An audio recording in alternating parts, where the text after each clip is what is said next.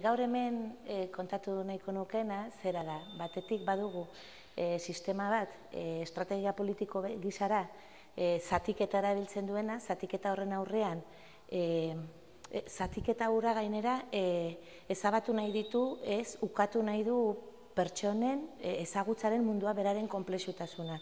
Hortik aurrera, e, planteatzen dugunean sindikal gintza, e, aztertu daitekela orain arteko e, tradizionalki izan diren ikuspegiretatik aratago feminismotik, komunikaziotik, hezkuntzatik ari gara komplexutasuna hori gainditzen. Eta behin hori e, aipatuta e, premisa bat. Premisa da e, sindikalgintza egiten dugunean hezkuntza ariketa bat ere egiten ari garela, lan pedagogiko bat ere egiten dela.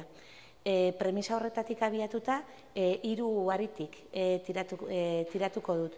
E, batetik e, pertsona e, sujeto aktibo gizara, bere ezagutzaren e, eraikitzailea erantzun e, erantzulea dena, azkenean bere ezagutzen sujeto aktibo badena horren eraikuntzan, ez dela, bigarrenik e, komunikazioa, zer den komunikazio, orain arte nola ulertu den komunikazioa modu transmisibo konduktista lineal batean, hori gainditzeko proposamen bat, eta hirugarrenik e, hezkuntza zartarako edo sindikalgintza zartarako. Ez dela, gure e, zentroetan eragiteko bakarrik, edo ulertuta sindikalgintza hezkuntza e, e, emantzipaziorako tresna gizara, e, gure jendartea eraldatzeko tresna gizara.